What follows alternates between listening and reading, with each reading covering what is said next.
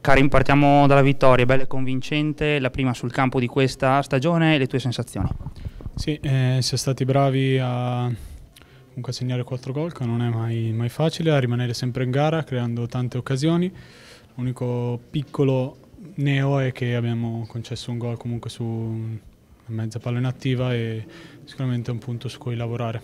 C'è un po' l'impressione che dopo il primo gol eh, vi siete un po' sciolti, no? cominciate a girare meglio il pallone e poi siete dilagati. Sì, dopo il primo gol è andata sicuramente bene, abbiamo continuato a giocare. Nel secondo tempo abbiamo avuto 5 minuti di blockout eh, all'inizio e 5 minuti dopo e su quello, quelli sono i margini dove, dove dobbiamo lavorare tanto. Squadra dai margini di miglioramento, passando alla tua prestazione, il gol, quello che ha aperto la partita sotto la curva sud. Sì, è stata una bella emozione, soprattutto perché è il primo, soprattutto che è bello. È stato bravissimo Liam inserirsi e dopo abbiamo creato una combinazione.